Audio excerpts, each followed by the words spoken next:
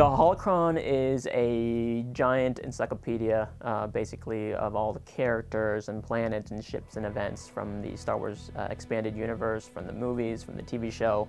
Anything that has to do with the Star Wars universe uh, goes into this database. And so part of my job is filling the database. So uh, whenever we create new characters or we create uh, new worlds, new aliens, it goes into this database.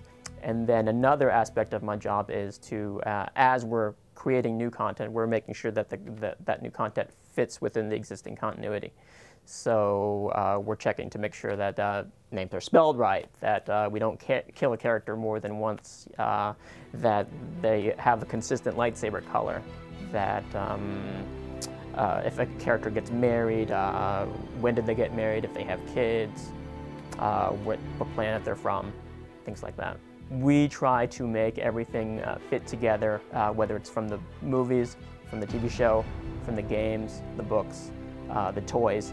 We try to keep it all one universe. Having a single continuity, uh, the, the, the, ramifications uh, of what happens in a certain story have more impact, they're more lasting. So if a character dies, uh, that character is dead. You're not going to see them come back in, a, in another story. So uh, we killed Chewbacca in one of our novels. Well, Chewbacca is not going to appear later in the timeline in a game or a comic.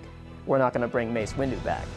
Um, it, I mean, it, we, we find ways to sort of, we kind of did bring the Emperor back, and we kind of did bring, bring Boba Fett back, but uh, there's an explanation whenever, whenever something like that, that happens. We retcon something when we need to fix something that didn't fit in the past. Uh, an example would be Boba Fett. Uh, previous uh, books before Episode 2 said that Boba Fett was this, he may have been a former stormtrooper, uh, that he was this, uh, what they call a journeyman protector uh, from this planet called Concord Dawn, and then Episode 2 comes along and, oh, actually Boba Fett's is cloned from Kamino, and he's cloned after this guy named Jango Fett. Rather than uh, completely trashing that the whole backstory that we had for Boba Fett before, uh, we took that, we retconned it, and we applied that backstory to Boba Fett, or to Jango Fett, Boba Fett's dad.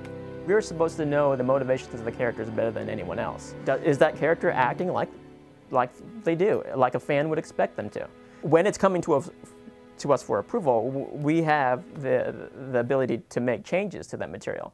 And if it doesn't fit within, uh, within certain standards, and, and if, if things veer off from, from what is expected for a character, yeah, we'll definitely have them change it.